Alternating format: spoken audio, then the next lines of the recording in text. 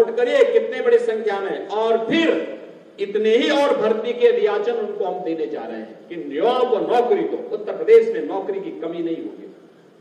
आज हमारा Uttar Pradesh revenue surplus प्रदेश है शिक्षा आयोग का गठन हो चुका है, शिक्षा आयोग कार्य करने जा रहा है।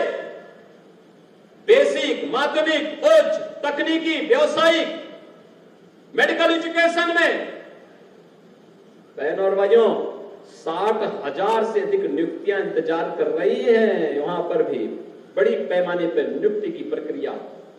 अलग अलग विभागों में नियुक्ति की प्रक्रिया धड़ल्ले से आगे बढ़ेगी। और अब माफिया नहीं, अब दंगाई नहीं। यूपी सुरक्षा का मॉडल प्रदेश बन चुका है। उत्तर प्रदेश आज निवेश का इन्वेस्टमेंट इन्वेस्ट इन्वेस्टमेंट का सबसे ड्रीम डेस्टिनेशन बना है।